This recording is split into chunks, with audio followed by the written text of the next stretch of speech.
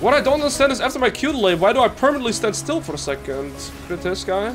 Oh. Like, I Q delay there, and I stand still. I can't play my champion normally. I get, unironically, without kidding, if I play three days on my main account with Riven, I get more bugs playing than I've had over the course of playing Riven as a one trick for nine years. Okay, watch this. I stand still after my combo.